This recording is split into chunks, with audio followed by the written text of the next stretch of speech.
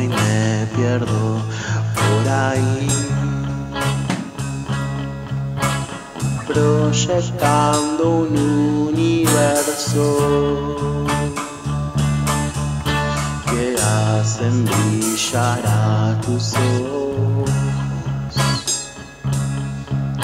constantemente